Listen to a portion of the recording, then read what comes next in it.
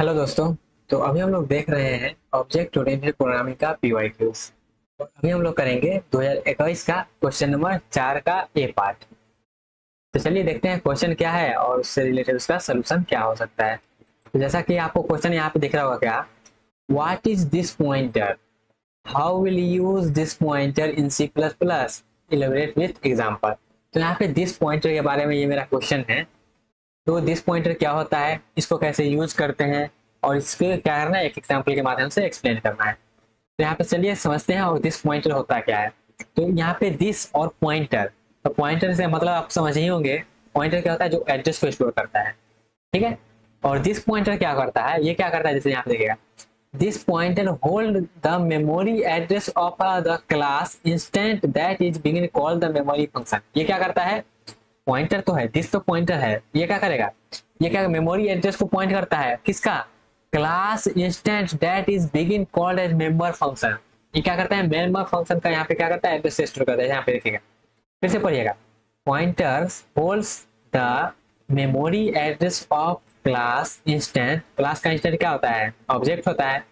That is begin called by a member function member function के बारे में जो कॉल किया जाता है, उसको ये स्टोर करना है। यहाँ पे देखिएगा allowing those function to correctly access the object data member उसका क्या है?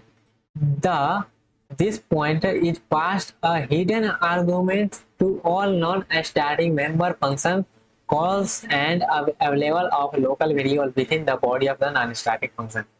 आप ऐसा समझिए, ये क्या करता है? दिस पॉइंटर एक पॉइंटर है जो क्या करेगा? पॉइंट करेगा किसी मेंबर फ़ंक्शन पे या फिर मेंबर वेरिएबल पे।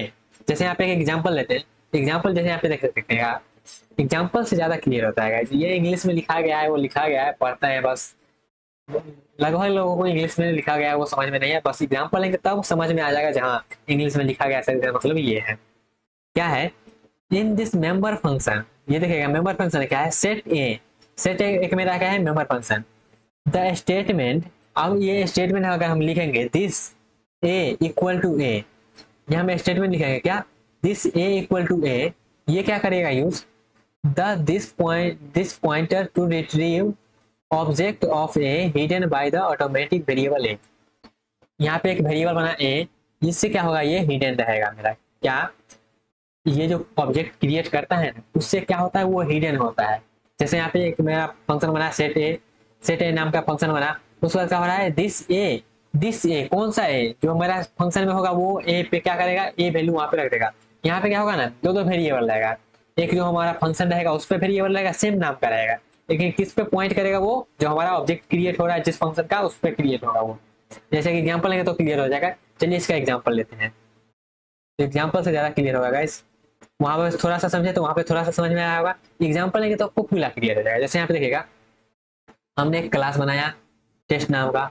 और एक प्राइवेट में यहाँ पे वेरिएबल रख लिए तो यहाँ पे प्राइवेट लिख नहीं लिखिएगा फिर भी प्राइवेट रहेगा लेकिन पब्लिक बनाने के लिए पब्लिक लिखना पड़ता है यहाँ पे पब्लिक हमने बनाया सेट एक्स करके और यहाँ पे एक्स यहाँ पे क्या यहाँ पे लिखिएगा एक्स एक्स यहाँ पर भी है और एक्स यहाँ पे जैसा हमने बताया गया दो दो नाम यहाँ पे सेम रहेगा तो यहाँ पे एक्स यहाँ पर भी है और एक्स यहाँ पर भी है कितना चीज़ क्लियर हुआ यहाँ पे हमने एक फ़ंक्शन बनाया है उसमें एक्स वैल्यू ले रहा है और यहाँ पे एक्स मेरा क्या है एक क्लास का वेरिएबल है और यहाँ पे क्या है this this pointer is use to retrieve object x hidden by the local variable ये जो एक्स वेरिएबल है, इससे क्या होगा? वो जो हमारा पहले वाला फ़ंक्शन है, पहले वाला जो वेरिएबल है, उससे क्या हिडन रहेगा तो यहाँ पे दिस एक्स दिस एक्स कहने का मतलब क्या?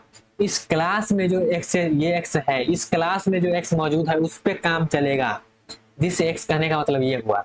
और ये एक्स कहने का मतलब इधर जो बराबर के इधर लिखा गया है, जो वैल्यू दे रहा है, वो कहने का मतलब ये जो लोकल वाला एक्स है, वो। दिस एक्स कहने का मतलब क्या है? इस क्लास का जो एक्स है वो तो इस क्लास का एक्स कौन है? इस क्लास का एक्स ये है। एक्स मतलब आपको उससे रिलेट मत करिएगा, दूसरा एक्स नहीं। यहाँ पे एक्स ये जो है एबीसीडी वाला एक्स वो। आप अपने एक्स से इसको रिलेट करने का कोशिश ना करें। नहीं तो दिस पॉइंट कहीं और आपको चला जाएगा। ओके गाइस तो दिस एक्स कहने का मतलब? दिस एक्स कहने का मतलब? दिस एक्स कहने का मतलब हुआ, ये जो क्लास का एक्स है वो। ठीक है? ये क्लास का एक्स है वो। ओके गाइस तो उससे में क्या होगा? ये जो है, ये जो इसका लोकल एक्स है वो। इतना चीज़ क्लियर हुआ गाइस और उसके बाद हमने क्या किया? यहाँ पे प्रिंट करवा रहे हैं वैल्यू को। जब प्रिंट करवा रहा है तो उसका जो क्लास का एक्स होगा, वही प्रिंट होगा। तो हमने यहाँ पे एक वेरिएबल बनाया ऑब्जेक्ट ऑब्जेक्ट बनाया है ऑब्जेक्ट नाम का। उसके बाद यहाँ पे एक्स ले रहे हैं, और यहाँ से हम वैल्यू पास कर रहे हैं एक्स का उसके बाद प्रिंट करवा रहे हैं। तो चलिए इसको रन करवा के देख लेते हैं इन दिस पॉइंटर का मतलब क्लियर हो गया होगा। ये किसको पॉइंट करते रहता है? जो इसका क्लास का वेरिएबल रहता है, उसको पॉइंट करते रहता है ये।